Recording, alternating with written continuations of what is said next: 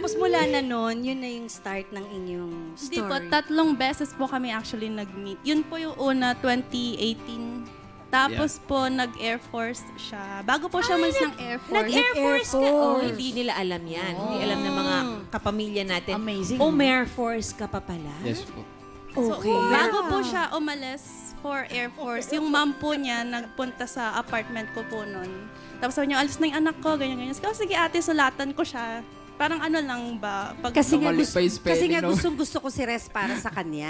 Okay. So sabi ko, Res, magsulat ka naman. Paalis si Easy papuntang Air Force. Nagsulat naman siya. May mga moves din ng mga mami nakakatuwa. talaga. Iba din ang mga Yes. mamsi. Di ba mommy knows best? Hindi nagkakamali ang mga nanay, lalong-lalo na sa gut mo. Alam mo ba, Mamsi, ngayon na maraming nanonood ng mga kababaihan ngayon, maraming gusto na sana na-meet ka na lang nila noon. Kaya para, you know, para kilala mo sila very, kay very Easy. proud. Diba? nakilala ka nila bago mo nakilala si Rez. Pero alam mo, bibihira yung ganitong relationship Yes, ha. yes. Best. Na aprobado ng mommy sa simula pa lang. And then hanggang ngayon, very inspiring relationship. And At they very have a very proud. good relationship na We're parang so close. We're so posible. Posible Posible mong maging pala. best friend yung mommy ng boyfriend mo. Correct. Ito, bago tayo, bago natin Yes. ito kunin muna, gusto kong tanungin si Res kung how, how does she feel?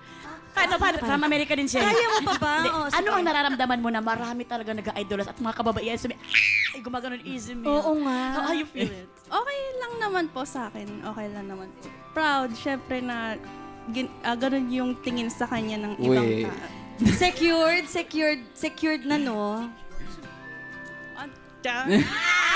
Ve- very supportive. Very supportive. Be- be- supportive.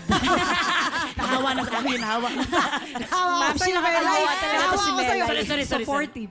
Ah, ah. Very supportive si Res. Ay, nakakaaliw. So, lagot, lagot, lagot po siya sa mom she tsaka sa pop she kapag sakali. Ayun naman. Ayun, oo. Very good din si Izzy.